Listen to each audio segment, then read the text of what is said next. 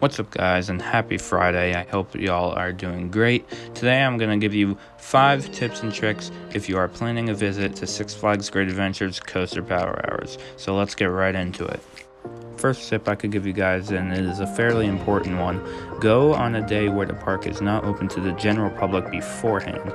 Me and my friend Alex at Accelercoasters on Instagram, make sure to go drop him a follow we went on a day where the park was open from 10 a.m. to 5 p.m. to the general public, and power hours started at 6.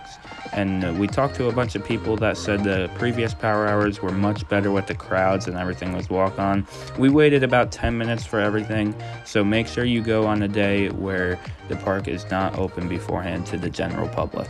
The next tip I have for you guys is if you can't go on a day where the park isn't open beforehand, go to a coaster that is not as popular, such as El Toro first.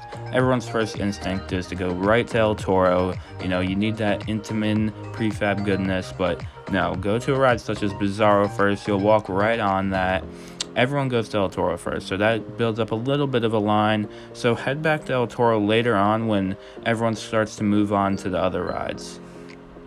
This way, you could stay on Toro and marathon it as much as you want instead of going around and around and around and around and around. Two hours later. And around and around and around and around. Eventually. And around and around and around and around. Over and over and over again. You guys get the point. This tip is mainly for the GP if you're going for a one day trip to Coaster Power Hours, don't feel the need to rush from ride to ride. Yes, the park is only open for about 5 hours during this event, but there is no lines for anything and you will get to ride everything multiple times, so do not stress yourself out with that and just enjoy the park.